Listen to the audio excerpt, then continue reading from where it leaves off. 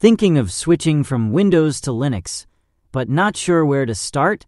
In this quick guide, let's compare two top beginner friendly options Linux Mint and Endeavour OS.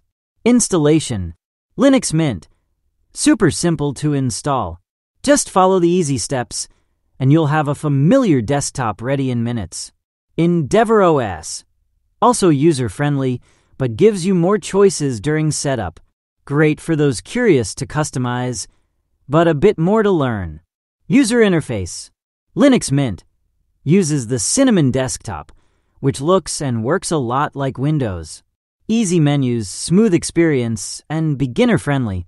Endeavour OS often comes with KDE Plasma or X.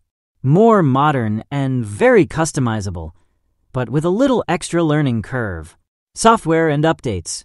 Linux Mint comes with all the basics Office apps, web browser, media player.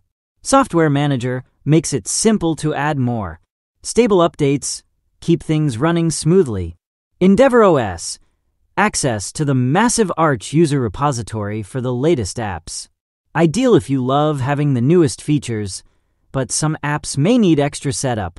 Community and support. Linux Mint.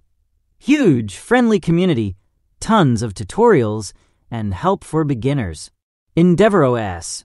Enthusiastic community, but you'll find guides assume you're ready to explore and learn a bit more. Which should you choose?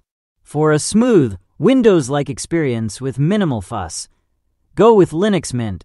For more flexibility and learning the Linux way from day one, try Endeavour OS.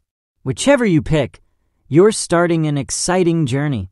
Like, subscribe, and comment with your Linux questions.